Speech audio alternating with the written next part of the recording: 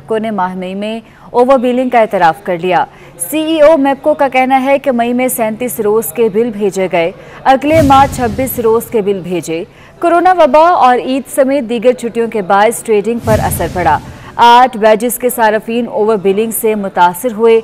नेपरा में अवामी समात का अहवाल आपको बता रहे हैं कि मैपको ने माह मई में ओवर बिलिंग का एतराफ़ किया है।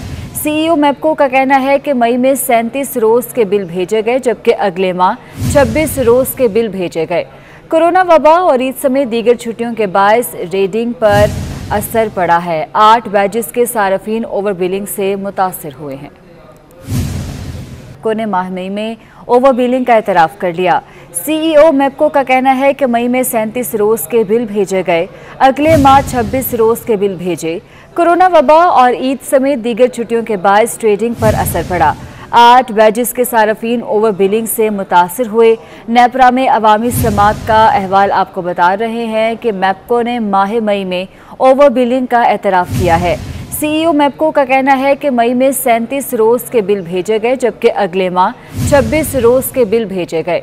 कोरोना वबा और ईद समेत दीगर छुट्टियों के बायस रेडिंग पर असर पड़ा है। आठ बैजेस के सार्फिन ओवर बिलिंग से मुतासर हुए हैं।